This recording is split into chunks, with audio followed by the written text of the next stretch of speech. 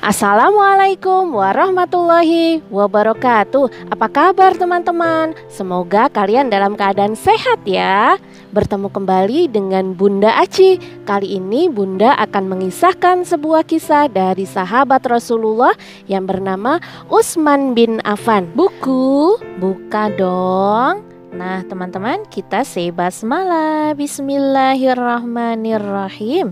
Nah, buku ini teman-teman ditulis oleh kakak Yuli Ardika dengan judul Usman bin Affan Suka Bersedekah. Ayo teman-teman, siapa yang sudah kenal Usman bin Affan?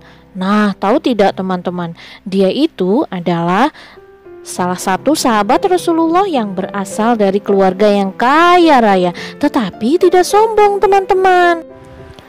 Ia juga dermawan, teman-teman, suka menolong sesama, dan dia juga sangat pemalu. Ia adalah pemimpin umat Islam yang keempat setelah Rasulullah, Abu Bakar Ashidik, dan Umar bin Khattab. Utsman bin Affan juga memiliki gelar Zunnurain atau pemilik dua cahaya. Suatu hari, Umar bin Khattab pergi ke rumah Rasulullah. Ia mendapati betis Nabi dibiarkan terbuka, tetapi ketika Utsman bin Affan datang, Rasulullah langsung menutup betisnya dengan kain celananya. Karena Rasulullah tahu kalau Utsman bin Affan sangat pemalu, teman-teman.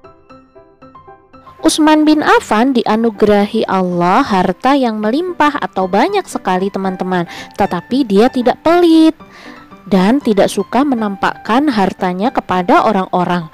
Ia sangat terampil dan sangat sederhana, bahkan orang-orang Mekah sangat mencintainya, teman-teman. Ia disebut dermawan karena terbiasa memberi sedekah kepada fakir miskin yang ada di kota Mekah. Kebiasaan itu tidak pernah berubah, teman-teman. Sejak Rasulullah mengajarkan Islam, banyak sekali budak yang mengikuti ajarannya, teman-teman. Hal itu membuat mereka disiksa oleh tuanya. Nah, Utsman bin Affan merasa sedih sekali dan akhirnya ia dengan kekayaan yang dimilikinya memerdekakan banyak budak agar mereka terbebas dari tuannya yang jahat. kebiasaan tersebut ia lakukan terus-menerus setiap hari Jumat. Utsman bin Affan tidak pernah merasa takut kehilangan uangnya. Nah, hal itu yang membuat Nabi memuji namanya. Utsman disebut sebagai salah satu penghuni surga yang hidup di dunia. Masya Allah.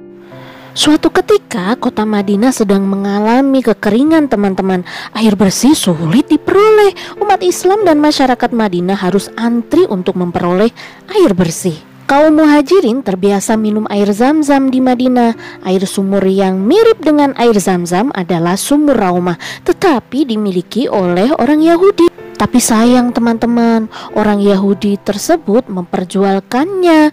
Ia menarik bayaran yang sangat tinggi kepada para muslimin. Hal itu membuat para muslimin menjadi resah. Utsman bin Affan berniat untuk membeli sumur tersebut. Si pemilik sumur awalnya enggan, tapi setelah mendapatkan harga yang tinggi dari Utsman, akhirnya ia menyerahkan sumurnya tersebut dan Utsman bin Affan menyerahkan sumur itu kepada kaum muslimin agar diambilnya secara gratis. Kaum muhajirin dan masyarakat Madinah bersuka cita. Sumur peninggalan Utsman bin Affan sampai sekarang masih ada loh Ketika pada masa Khalifah Umar bin Khattab, teman-teman, pernah terjadi paceklik. Paceklik adalah kekurangan bahan pangan karena gagal panen gandum dan kurma, sehingga persediaan makanan menjadi menipis. Namun, Utsman bin Affan berhasil membawa puluhan unta yang membawa karung berisi bahan makanan ke Madinah. Melihat hal itu, orang-orang Yahudi ingin memborong makanan tersebut dan membelinya dengan harga yang tinggi. Namun Utsman bin Affan menawarkan dengan harga 10 kali lipat, jauh lebih tinggi. Menurut Utsman bin Affan yang sanggup membeli bahan makanan ini hanyalah Allah. Karenanya ia menyumbangkan kepada orang-orang yang membutuhkannya. Dan Utsman bin Affan memberikan seluruh bahan makanan tersebut kepada fakir miskin.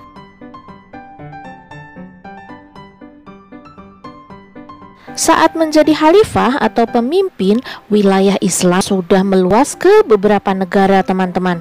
Akibatnya, terdapat perbedaan bahasa atau dialek dalam membaca Al-Quran. Hal itu menimbulkan perselisihan yang hebat di antara mereka. Para sahabat melaporkannya kepada Khalifah Utsman dan Utsman bin Affan menugaskan Zaid bin Sabit untuk memimpin pembukuan Mus'af Al-Quran dengan acuan Mus'af yang pernah dikumpulkan di masa Abu Bakar Ash-Shiddiq. Setelah selesai, mushaf aslinya dikembalikan dan mushaf salinannya dikirimkan ke beberapa negara sehingga akhirnya umat Islam kembali bersatu dan terhindar dari perselisihan dan peperangan. Mushaf tersebut akhirnya menjadi acuan umat Islam dari masa ke masa hingga saat ini teman-teman.